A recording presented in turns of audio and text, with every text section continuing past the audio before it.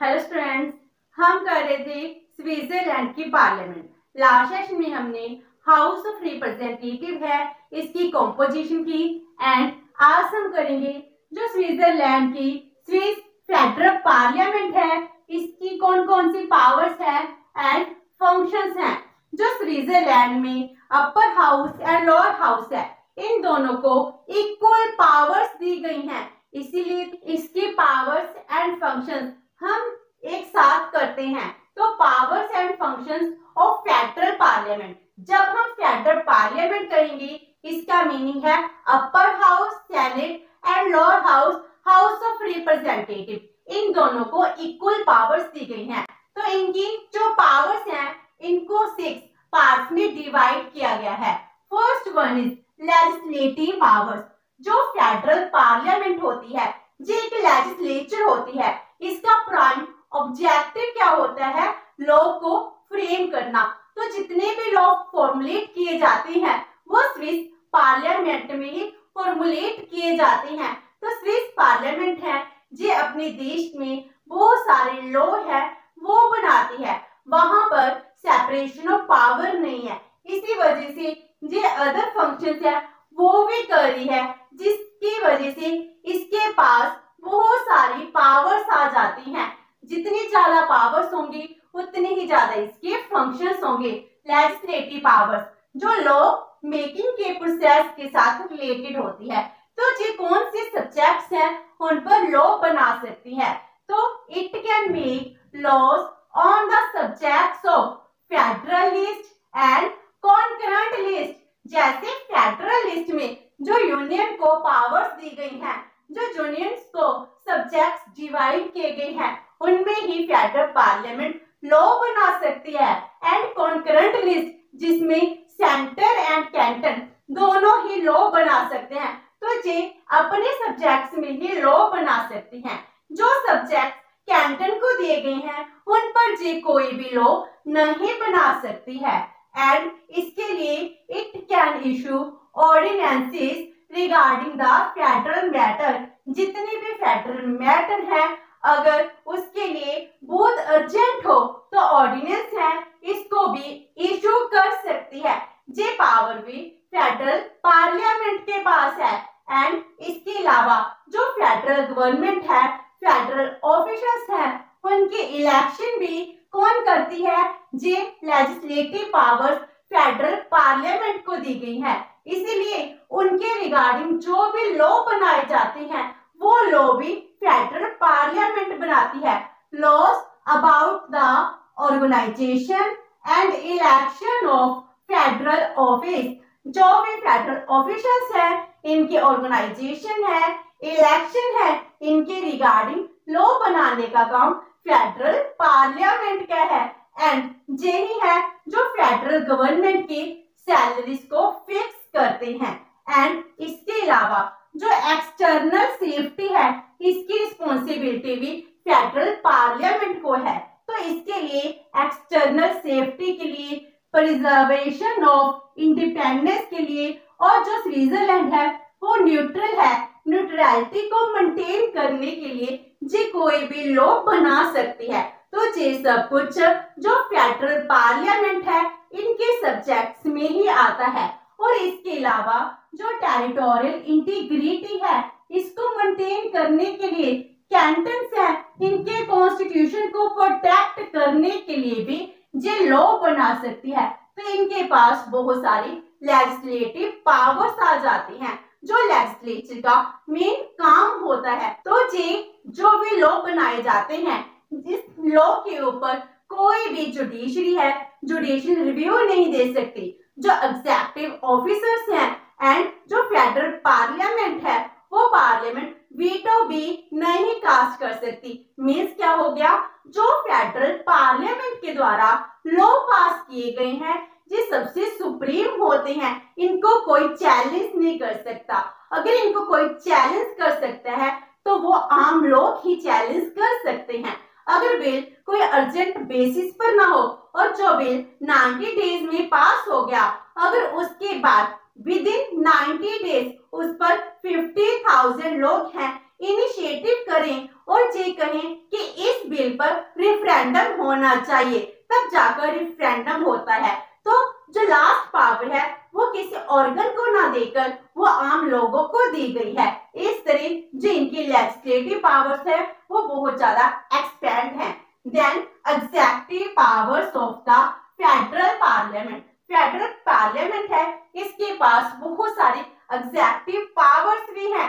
जो लोग बनाए जाते हैं, इनको इम्प्लीमेंट करने की रिस्पॉन्सिबिलिटी भी इनके पास है। वैसे तो फेडरल पार्लियामेंट के जो लॉ बनाए जाते हैं, उसके लिए फेडरल एग्जेक्टिव हैं, जिसको फेडरल गवर्नमेंट कहते हैं, जिसमें सेवन मेंबर्स हैं। तो उसके साथ इनकी कुछ रिस्पॉन्सिबिलिटीज भी हैं। तो जो फेडरल गवर्नमेंट है, जो फेडरल एग्जेक्टिव है, उनको इलेक्ट करने का काम किसका है? उसका काम भी इस फेडरल पार्लियामेंट का है।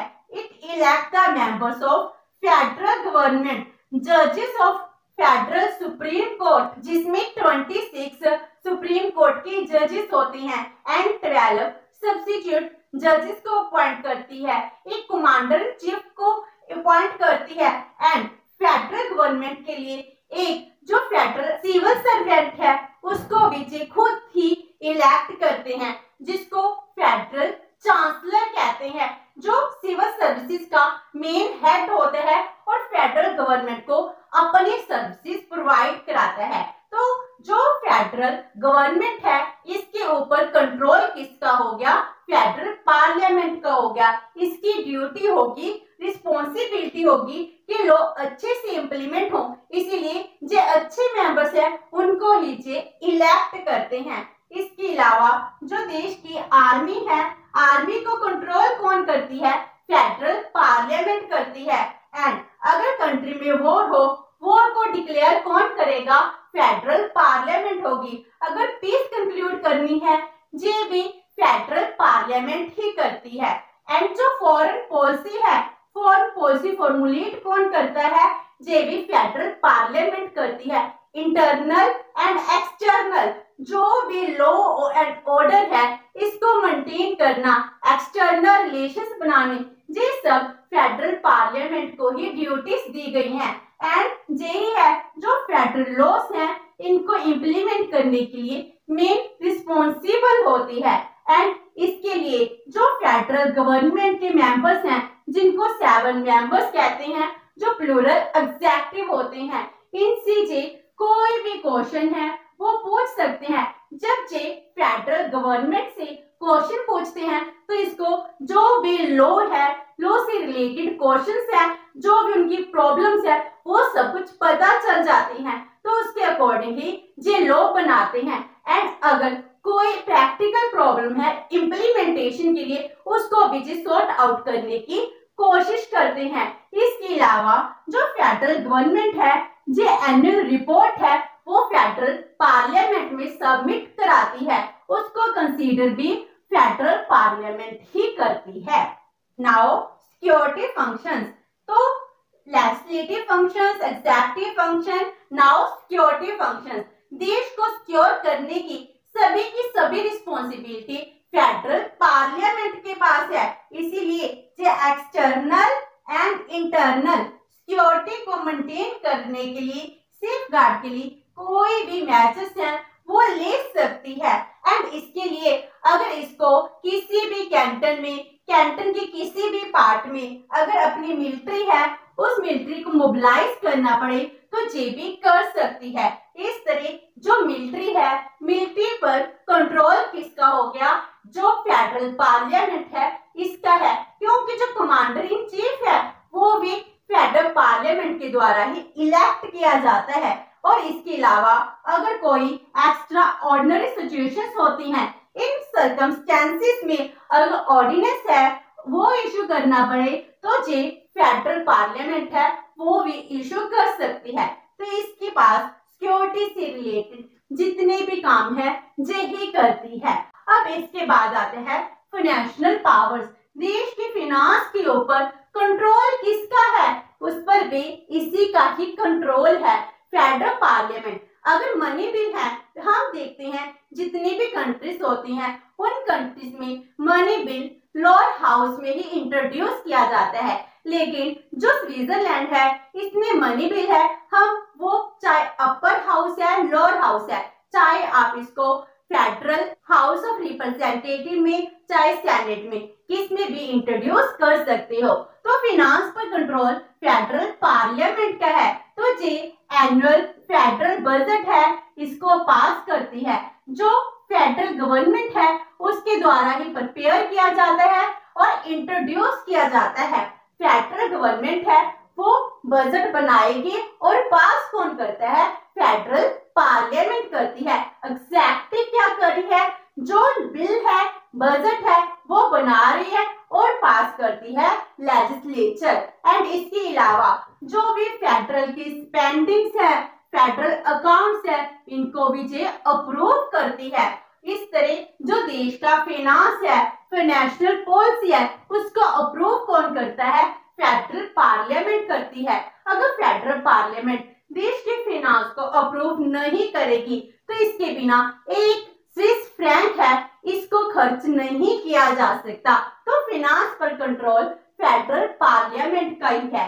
नेक्स्ट जुडिशियल पावर्स जो इसके पास जुडिशियल पावर थी 2000 के कॉन्स्टिट्यूशन के पहले इनके पास बहुत सारी जुडिशियल पावर्स थी। लेकिन 2000 के कॉन्स्टिट्यूशन जो न्यू कॉन्स्टिट्यूशन बनाया गया है, इसके बाद इसकी जो पावर्स है, वो रिड्यूस हो चुकी हैं। तो कुछ इसकी जो जुडिशियल पावर्स अब तक है, वो कौन कौन सी पावर है, जो आज के टाइम में ये यूज़ कर रहे हैं? पहले जो फेडरल सुप्रीम कोर्ट के जो जजेस है, इनको इलेक्ट करते हैं। जो 26 सुप्रीम कोर्ट के जजेस है, इनको इलेक्ट किया जाता है। जजेस है, इनको इलेक्ट किया जाता है। इसके अलावा जो फेडरल सुप्रीम कोर्ट है, वो भी अपनी एनुअल रिपोर्ट है।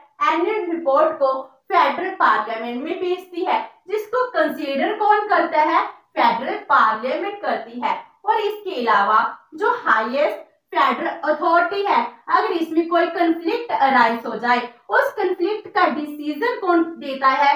वो डिसीज़न भी फेडरल पार्लियामेंट देती है। एंड इसके अलावा जी आम लोगों को माफ़ कर सकती है जनरल अमेंस्टी है, और पार्डन है, वो ग्रांट कर सकती है।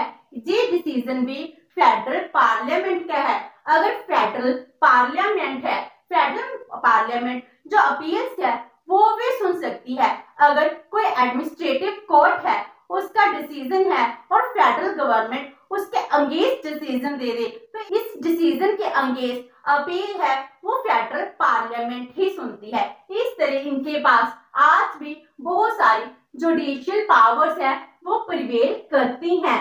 एंड इसके बाद लास्ट आता है कॉन्स्टिट्यूशनल पावर्स जो फेडरल पार्लियामेंट है, इनके पास ही कॉन्स्टिट्यूशन को अमेंडमेंट करने की पावर है।